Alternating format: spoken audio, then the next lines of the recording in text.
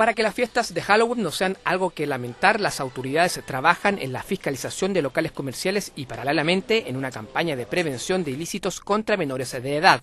En relación a las fiscalizaciones, Carabineros está concurriendo al comercio establecido para exigir el cumplimiento de normas de rotulado. Y tengan dentro de los logotipos, dentro del rotulado, las instrucciones en español. Eh, estamos fiscalizando a estos negocios que muchos de ellos no los tienen, por tanto eh, la venta eh, puede resultar un riesgo para la salud de los menores o quien porte ya sea máscara o peluca en diferentes minutos de la fiesta durante el fin de semana. Acompañó a Carabineros en esta inspección de locales la directora regional del CERNAC, Elizabeth Tapia, quien también entregó recomendaciones para evitar malos ratos en estas celebraciones. Lo recomendable es que se compre en el mercado, en el mercado formal por dos cosas. Primero, porque si sale malo va a tener derecho a garantía legal.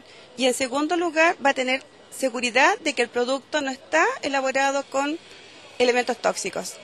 Pero la compra de productos no es el único aspecto que preocupa a carabineros. Por las características de Halloween, donde los menores salen en las noches a pedir dulces, hay que tomar algunos resguardos. Los menores cuando salgan a solicitar estos dulces a los vecinos o en otras calles cerca de su población, eh, lo hagan acompañados eh, de sus respectivos padres o bien algún familiar mayor de edad.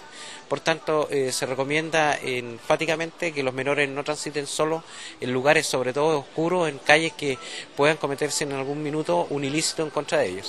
Al concluir esta nota repasamos las recomendaciones para este Halloween. Los menores deben ir siempre acompañados de un adulto responsable. Es recomendable transitar por lugares iluminados. Por ningún motivo los niños deben subir a vehículos de una persona desconocida y al momento de cruzar la calle solo debe hacerse por pasos habilitados.